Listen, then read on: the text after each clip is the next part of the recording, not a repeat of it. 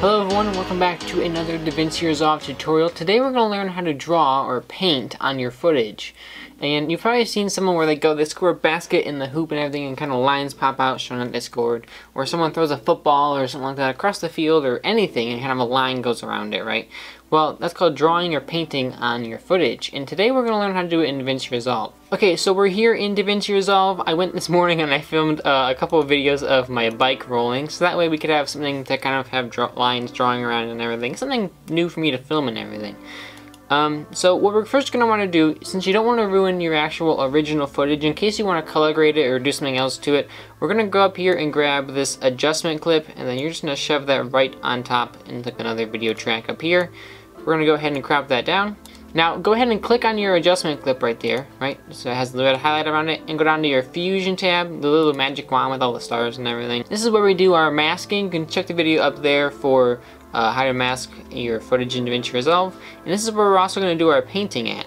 We're to go up here and hit Paint, and that's to give us a little thing called Paint 1. We're to go ahead and move these bars down. Uh, that way we get more real estate up here with our video. Over here on the right side of your screen, you're going to find some controls for your paintbrush. The main thing we're going to be using is the coloring tool, and if you need to, you can use the erase tool as well. Up here is kind of your brush shape. Uh, we're going to be using just the soft one for now, and then you have size, softness. Uh, down here is your coloring stuff, so you can go ahead and change the color of your of your stroke and everything. We're just going to leave it with white, because white's kind of really simple and easy stands out, um, and stuff like that. Now we are going to leave our size kind of big, just that way you can see it on the final video and everything. If you get too small, it's kind of hard to notice, especially for like a tutorial.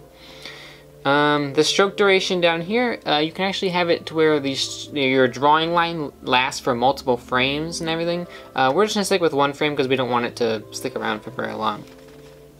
So we're going to click on our timeline here and go over to our first frame and then we're just to kind of start drawing on our footage, right? Just like a simple big line. And then we're just going to start animating it down here. If you're huge into drawing, this is like right up your alley. Uh, if you're not the greatest at drawing, it's just a couple of lines. Hopefully you can do it pretty easily. Uh, I'm currently using a mouse, so if my lines don't quite match up perfectly, uh, it's okay. Don't, uh, don't yell at me about it. So we're to go ahead and finish this one. We're just to go around the little support beam, support bar for the wheel here, and stuff like that. And then go to the next frame. So now, as you can see, when we go backward, there's this little line that comes around here, just like so, right? So when you go in, it kind of goes like that. Not bad. I'm to go through and do it for the rest of our video on the rest of this first clip and then a second clip, and I'll show you guys what it looks like in the end. Alright, so I'm back. I just finished making our lines for our footage. We're going to go ahead and play this. As you can see, the line kind of comes around here, and then kind of comes around here, goes by the uh, pedal, then up and around the gears, and then out the kickstand. So we're going to go ahead and render this.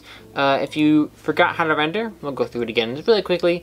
Go down to your Deliver tab. It's a little rocket ship, right? You're going to go up here, you're going to name it, choose a location. I always do the uh, H.264 master, and then I change mine to MP4. So do that. Then you're to come over here and hit start render.